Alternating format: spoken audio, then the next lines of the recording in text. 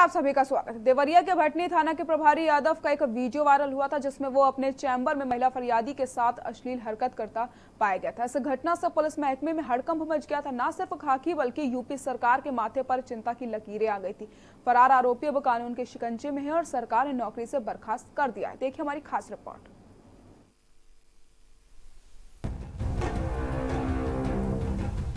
उत्तर प्रदेश के देवरिया में महिला शिकायतकर्ता को थाने में अपना प्राइवेट पार्ट दिखाने के आरोपी एसएचओ इंस्पेक्टर भीषपाल सिंह यादव को बर्खास्त कर दिया गया है। मामले में आखिर योगी सरकार ने बड़ा एक्शन लेते हुए आरोपी थानेदार पर अश्लीलता की खुमारी को उतार दिया है।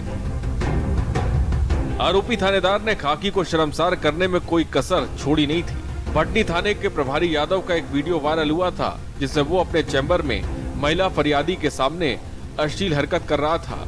अपना प्राइवेट पार्ट दिखाकर इशारे कर रहा था। इस घटना से पुलिस महकमे में हड़कम मच गया था। जानकारी के मुताबिक थानेदार की करतूत को महिला फरियादी ने ही अपने मोबाइल से रिकॉर्ड किया था और ये वीडियो वायरल हो गया। वीडियो वायरल होने के बाद और सीधे आपको लखनऊ ले चलते हैं।